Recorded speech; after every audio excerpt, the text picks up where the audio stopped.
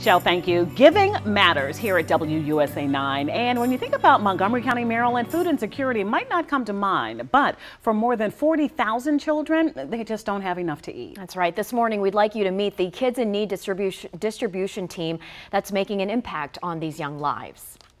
This county is full of incredible poverty.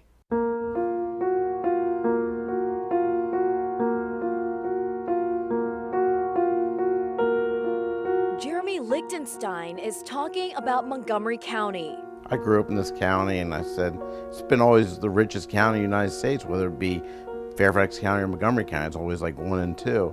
And then I started doing some follow up research and I went, oh my God. That's when the father of two and Bethesda based realtor started Kids in Need Distributors, also known as KIND, on the belief that child hunger is intolerable. And at the time, I think like 10 years ago, we had about 150,000 kids on a free and reduced meal plan in Montgomery County schools, which is about a third of the kids in the schools, which completely blew my mind. Jeremy got right to work starting with one elementary school. And I called my kids' principal when they were going to school. I asked him I could do a pilot program at his school, which was delivering food for the neediest kids.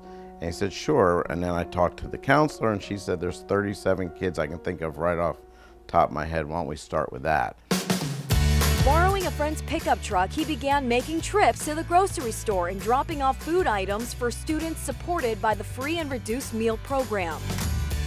His efforts continue to expand. Kind now serves 27 schools, over 3,000 students, and has dozens of volunteers in a fleet of at least 50 vehicles. So there's Garrett Park, there's Highland Elementary, there's Sandburg, and then JoAnn Leleck. So there's all these schools, 27 of them will go out at one time. Once those gray doors open up, we'll send in the volunteers to grab the carts.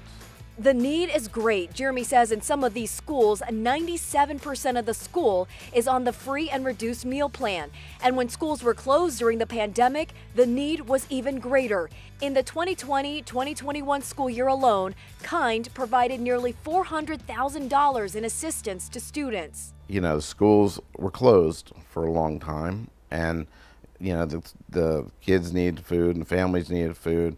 So we actually pivoted to gift cards from a local grocery store. It was almost like we never missed a step. Jeremy says it's the heartwarming letters from the families expressing gratitude that keeps him going strong.